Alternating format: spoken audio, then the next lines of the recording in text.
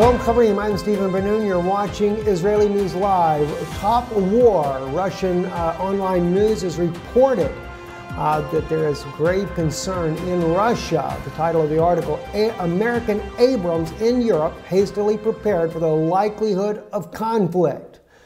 And why they say that is the update has started to the level Tusk, which is uh, the Russian word for tank there.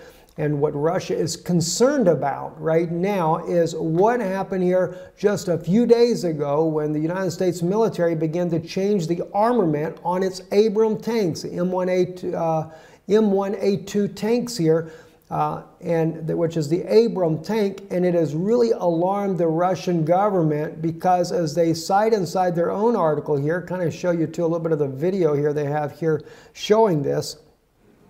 And this is, uh, they're putting on the rounded shields as well now over the top of the big squares that they had just installed on the tanks there.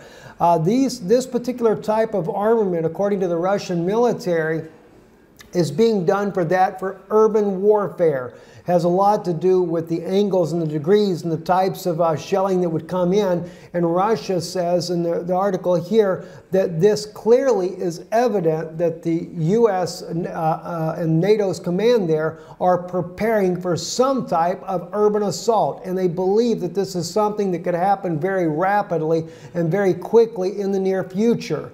And so they have watched the upgrades of the equipment of the Abram tanks, wondering what is going on, what is America's next intention inside of Europe for preparing the tanks for this. This is not just a matter of, uh, of doing exercises, this is getting the tanks ready for combat readiness in an urban environment, according to the article and what they're stating there.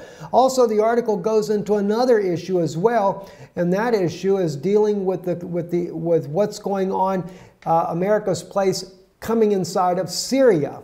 Uh, the American uh, military is now building up inside of Syria. Russia's concerned about that. And as they state in the article right here, they're not so much worried about the fact that the U.S. is there for the Kurds and to help the, the Kurdish people to gain an area inside of Syria, which is something that Erdogan definitely hates 100%. But as the Russian government uh, speaks about this, that is something that they can live with because they already have uh, the, the same adequate type of uh, uh, feeling for the Kurdish people as well, that they should be protected and have their own place. But what Russia is not liking is the fact that once they take over Raqqa, then the U.S. military will begin to want to stay there. And they will also try to bypass the number of troops that they have on the ground inside of Syria, which right now is limited to 500. Uh, uh, personnel inside of Syria. But now that we see that Century 21 is reported to, uh, the U.S. media silence as Pentagon deploys Ranger Armored Regiment on the ground in Syria. And of course, the numbers are only building. This is near Manbij, also uh, close to Raqqa, where the U.S. is planning on taking Raqqa back using uh, the Kurdish fighters to help them do just that. So Russia is very concerned about this.